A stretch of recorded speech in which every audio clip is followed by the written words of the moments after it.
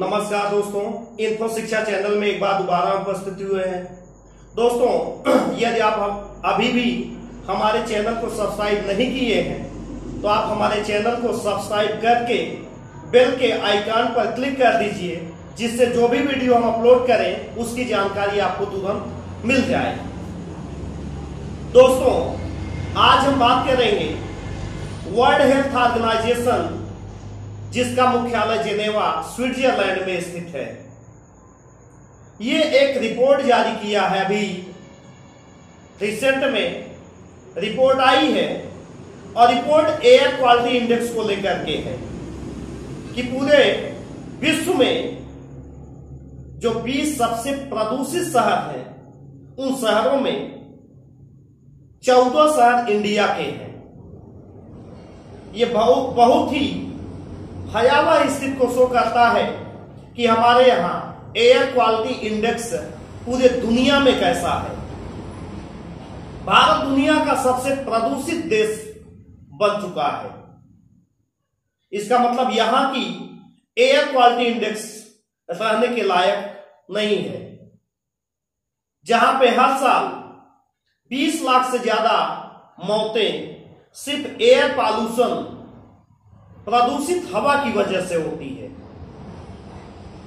दुनिया में प्रदूषित हवा से होने वाली हर चार मौतों में एक मौत इंडिया से होती है।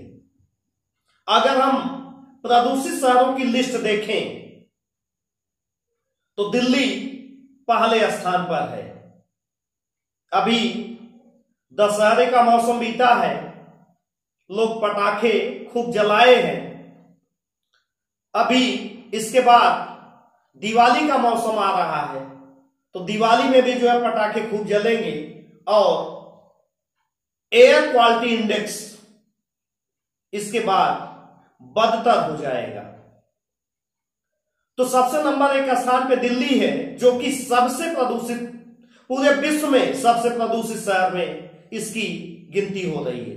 दूसरे नंबर पे कानपुर है, तीसरे पे गुरुग्राम चौथे पर गया, पाँचवें पर लखनऊ और छठवें पर फरीदाबाद।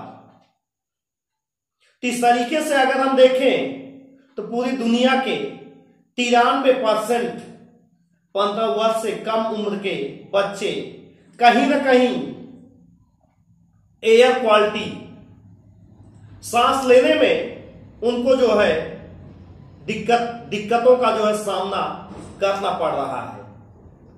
जिन शहरों की तरफ़ हम आज की दुनिया में भाग रहे हैं, शायद वो शहर अब रहने योग्य नहीं रह गए हैं। आप कहीं ना कहीं अनजाने में ही एक साइलेंट किलर दूषित हवाएँ अपने अंदर ले रहे हैं, जो कि आपके स्वास्थ्य पर बहुत ही बुरा असर डाल रही है। तो धन्यवाद दोस्तों। mm